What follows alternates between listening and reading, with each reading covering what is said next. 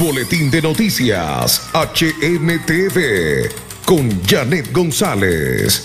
Patrocinado por Eliazar Auto Import, tu dealer internacional.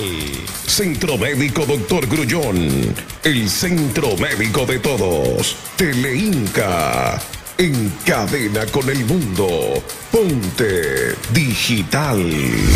Continúan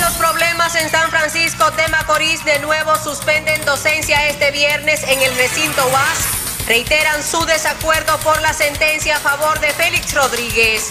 De otro lado, el Ministerio de Industria y Comercio dispuso alzas a los combustibles. En este caso, gasolina premium irregular, mientras que congeló los demás combustibles.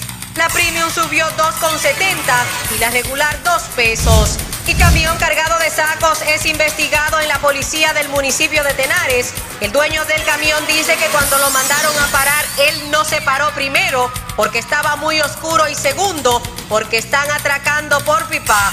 Y le concedo toda la razón. Mientras tanto, sigan investigando. En el nordeste las noticias tienen un nombre. Janet González.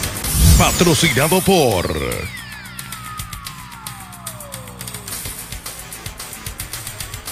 Eliazar Auto Import, tu dealer internacional.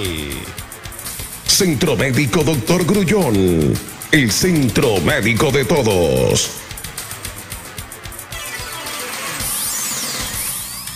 Teleinca, en cadena con el mundo. Ponte digital. HMTV presentó.